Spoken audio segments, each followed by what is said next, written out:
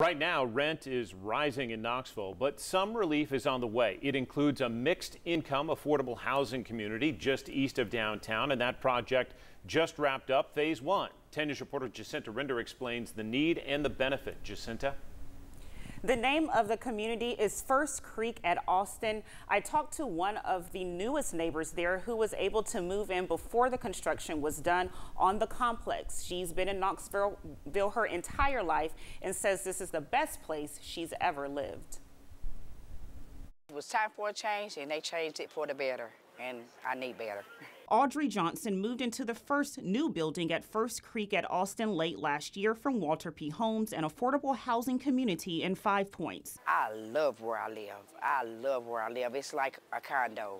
Like I don't even like to come outside. She now lives just walking distance from downtown and says this is the best place she's ever lived we want to provide that. I don't think that should be necessarily based on income. I think that everyone should have that opportunity.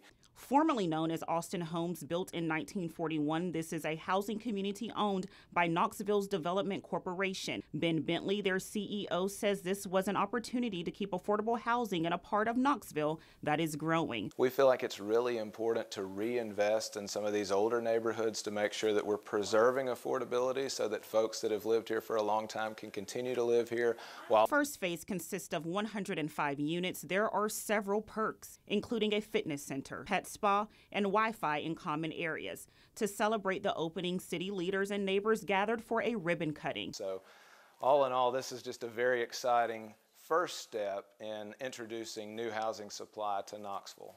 In Knoxville, I'm Jacinta Rinder.